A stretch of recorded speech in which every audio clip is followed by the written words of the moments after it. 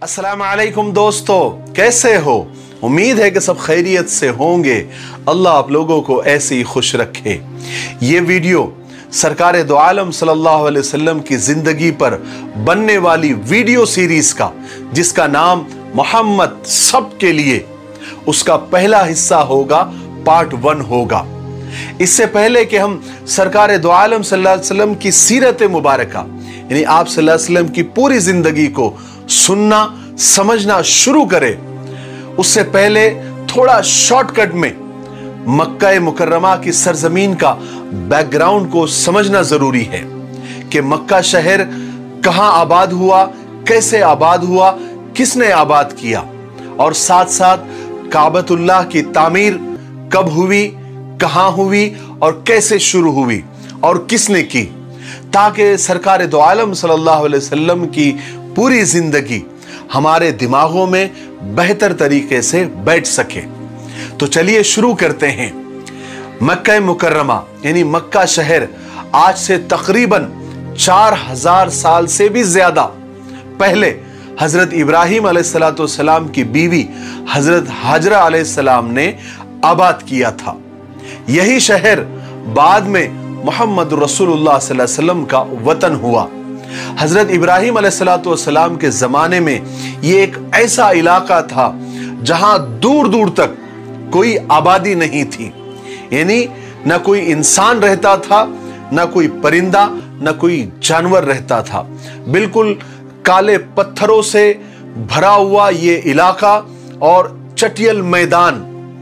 نہ کوئی پانی، نہ کوئی سبزہ، نہ کوئی ہریالی کا نشان تھا۔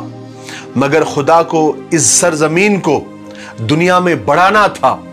اس لیے اس زمین کو آباد کرنے کا اللہ تبارک و تعالیٰ نے ارادہ کیا۔ اس نے اپنے دوست، اپنے خلیل، اپنے پیارے نبی حضرت ابراہیم علیہ السلاۃ والسلام کو حکم دیا کہ وہ اپنی بیوی اور اپنے دودھ پیتے بچے کو اس زمین میں پہنچا دے۔ حضرت ابراہیم علیہ السلاۃ والسلام نے اللہ کے حکم کے آگے سر جھکایا۔ اور اپنے بیوی بچوں کو اس ویران اور چٹیل میدان میں پہنچا دیا۔ اللہ کے خلیل یعنی اللہ کے دوست حضرت ابراہیم علیہ السلاۃ والسلام نے اپنی پیاری بیوی اور اپنے معصوم بچے حضرت اسماعیل علیہ السلاۃ والسلام کو اس ویران جگہ پر اکیلے چھوڑ کر چلے گئے۔ حضرت حاجرہ علیہ السلام یہاں پر حیران اور پریشان پھر رہی تھی۔ ان کی گود میں معصوم بچہ بھوک اور پیاس سے تڑپ رہا تھا۔ اللہ تعالیٰ نے اپنے فرشتے حضرت جبریل علیہ السلام کو بھیجا۔ جس جگہ آج کعبہ ہے، اس کے قریب حضرت اسماعیل علیہ السلام، جہاں پیاس کی وجہ سے اپنی ایڑیا رگڑ رہے تھے۔ اللہ کے حکم سے وہاں پر پانی کا چشمہ ابل پڑا۔ یہی وہ چشمہ ہے جو زمزم کا کنواں کہلاتا ہے۔ اس طرح خدا نے اس سوکھے اور بنجر علاقے میں پانی کا انتظام کر دیا اور حضرت حاجرہ اور ان کا بیٹا حضرت اسماعیل علیہ السلام یہاں صبر اور سکون کے ساتھ رہنے لگ گئے۔ پھر کیا تھا؟ یہاں پانی کو دیکھ کر پرندے آنے شروع ہو گئے۔ ہر وقت پرندوں کے جھنڈ وہاں پر اڑنے لگے۔ اتفاق سے اس زمانے میں ایک قافلہ وہاں سے گزر رہا تھا۔ وہ قافلہ ایک قبیلے کا تھا۔ وہ قبیلے کا نام بنی جرہم تھا۔ جو پانی کی تلاش میں ادھر ادھر بھٹک رہا تھا۔ اس نے پرندوں کے جھنڈ کو اڑتے ہوئے دیکھا تو سمجھ گئے کہ یہاں کہیں پر پانی موجود ہے اور ڈھونڈتے ڈھونڈتے وہ اس کنویں کے پاس پہنچ گئے۔ حالانکہ یہ واقعات بہت لمبے ہیں، لیکن یہاں پر آپ صلی اللہ علیہ وسلم کی سیرت بتانا مقصد ہے۔ اس لیے میں یہ سب واقعات پر شارٹ کٹ میں اور مختصر انداز میں میں بول کر گزر رہا ہوں۔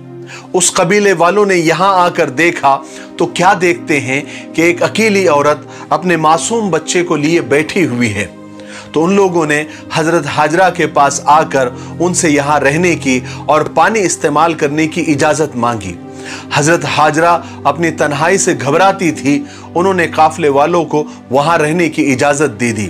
اور اس طرح حضرت حاجرہ کے بعد پہلی آبادی قبیل جرہم کی وہاں پر آباد ہوئی۔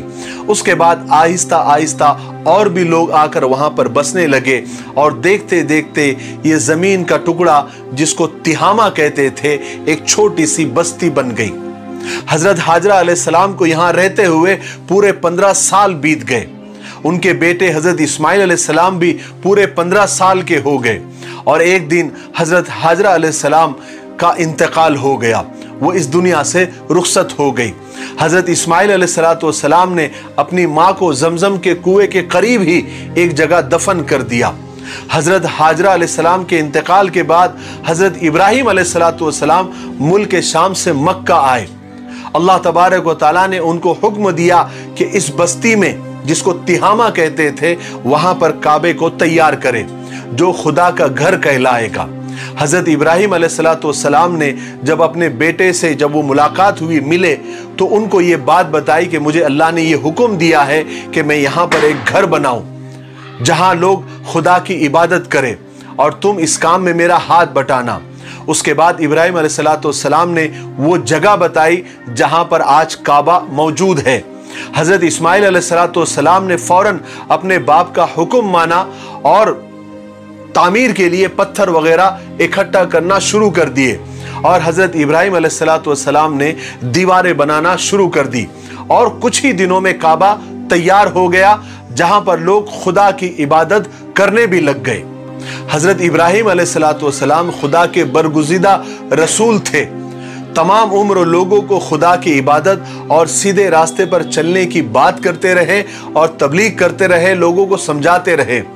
کعبے کی تعمیر کے بعد حضرت ابراہیم علیہ السلام کا بھی انتقال ہو گیا۔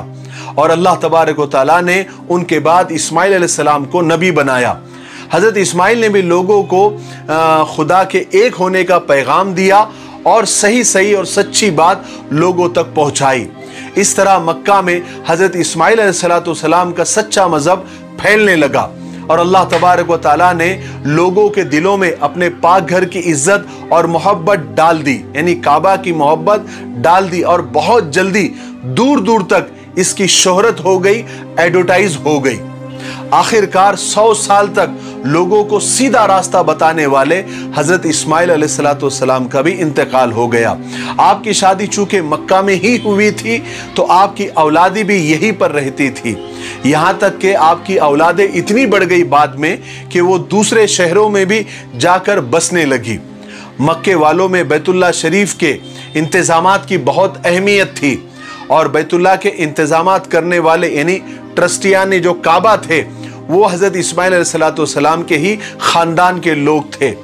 چونکہ وہی لوگ ٹرسٹی تھے، اس لیے کعبے کی چابیاں بھی انہی کے پاس ہوتی تھی حضرت اسماعیل علیہ السلام کی اولاد میں اکثر لوگ خدا کو ایک مانتے تھے اور اسی آسمانی دین پر وہ چلتے تھے جو حضرت اسماعیل علیہ السلام لے کر آئے تھے۔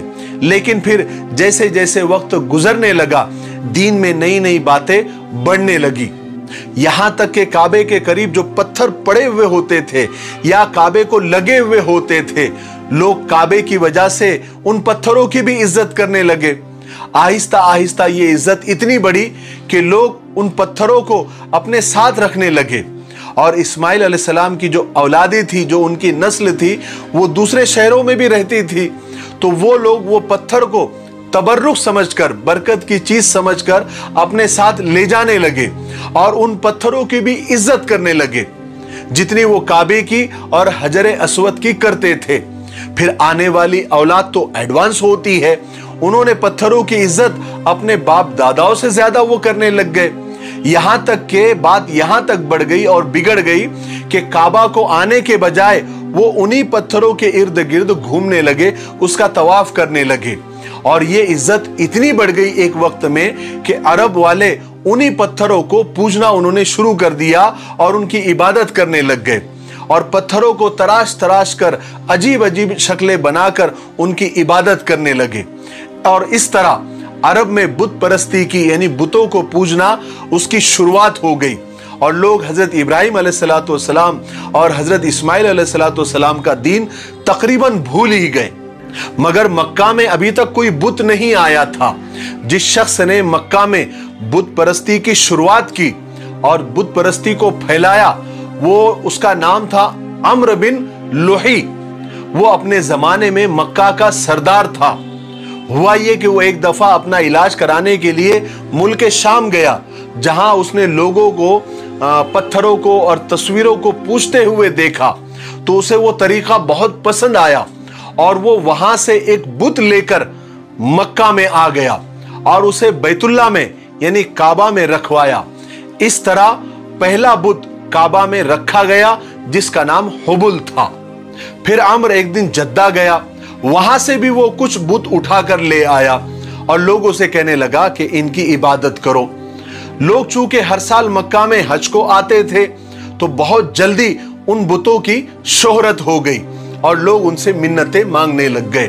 عرب میں چونکہ سینکڑوں قبیلے تھے، سب نے اپنے الگ الگ بت بنا لیے۔ جو قبیلہ جتنا بڑا اور مشہور تھا، ان کے بت اتنے ہی بڑے اور اتنے ہی مشہور ہو گئے۔ مکہ میں سب سے بڑا اور مشہور قبیلہ قریش کا تھا۔ ان کے بت کا نام حبل اور عزا تھا۔ اور دوسرا جو مشہور قبیلہ تھا، وہ طائف کا تھا، جس کا نام سقیف تھا قبیلے سقیف اور ان کے بت کا نام لات تھا۔ اس کے علاوہ اور بھی بہت سارے بت تھے جن کے نام آصاف، نائلہ وغیرہ، ایسے کچھ تھے۔ اس طرح خدا کا گھر بتوں کا اڈا بن گیا۔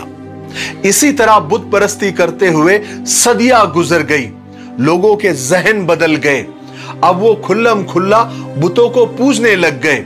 مگر پھر بھی اتنی بت پرستی کے باوجود بیت اللہ کی عزت کعبے کی عزت ان لوگوں کے دلوں میں تھی، جیسا کہ ان کے باپ داداؤں کے دلوں میں تھی اور ان کے زمانے میں تھی۔ لوگ ایسے وقت میں بھی اپنے گھروں کو کعبے سے اونچا نہیں بناتے تھے، اس کو بہت بڑا گناہ سمجھتے تھے۔ یہ ویڈیو اب کافی لمبا ہو رہا ہے، اس لیے آج ہم یہیں پر رک جاتے ہیں۔ اب ہم دوسرے حصے میں آپ کو بتائیں گے کہ زمزم کا کنواں کہاں چلا گیا۔ اس کو کس نے بند کر دیا، کب بند کر دیا؟ اب تو لوگ بھول بھی گئے تھے کہ یہاں پر کوئی کنواں بھی تھا۔ وہ کیسے ملا؟ کس نے بتایا؟ پھر ہاتھیوں والا قصہ جو ابابیل والا قصہ تھا، جو قرآن پاک میں بھی موجود ہے، اس کے بعد سرکار دو عالم صلی اللہ علیہ وسلم کے پیدا ہونے سے پہلے اللہ تبارک و تعالیٰ نے کیسی نشانیاں دنیا کو بتائی تھی، یہ ہم دوسرے حصے میں آپ کو بتائیں گے۔ تو ہم نے الحمدللہ ہمت کر کے یہ سیریز محمد سب کے لیے شروع کر دی ہے۔ ہم نے اپنے وعدے کو پورا کرنا شروع کر دیا ہے۔ آپ بھی اپنے وعدے کو پورا کریں اور اس ویڈیو کو کم سے کم پانچ لوگوں کو آپ ضرور شیئر کریں۔ اگر آپ زیادہ شیئر کرتے ہیں اور زیادہ لوگوں تک بات پہنچتی ہے تو یہ بات آپ کے لیے باعث ثواب ہوگی اور صدقہ جاریہ ہوگا۔ تب تک کے لیے میرے لیے اور پوری امت کے لیے خیر اور بھلائی کی دعا کرتے رہیں۔ السلام علیکم ورحمت اللہ وبرکاتہ۔